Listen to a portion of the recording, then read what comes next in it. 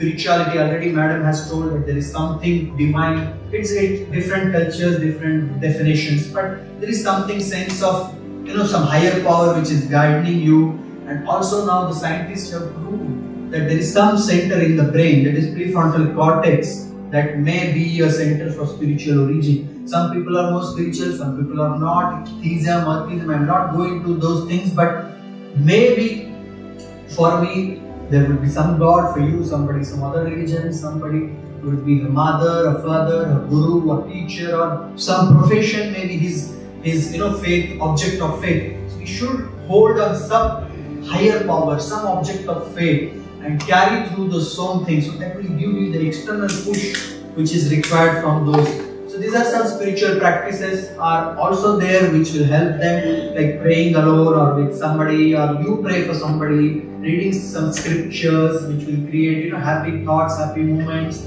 saying passage or using language, listening spiritual music, bhakti or some chanting, talking about the spiritual leader. So all those things will definitely depending on the origin where you are, depending on the locality where you are, it all it's up to you. So these are now literature review, review of these biopsychosocial and perspectives in cancer. So interpersonal spiritual care in oncology, there is a paper where it mentions that all physical, emotional, social, spiritual needs for any cancer patient, how they have to be tackled. Then Indian article, Iyengar Yoga, yoga, you know, the meditation and yoga practices, they have proved that in stage 1 to 3 breast cancer patients, the Iyengar Yoga has proved better quality of life, mindfulness, spirituality, life satisfaction and cancer related fatigue is less. Role of spirituality in coping with breast cancer, again NIH publication which is having very positive feedback. Spiritual therapy in coping and complementary medical preventive practices.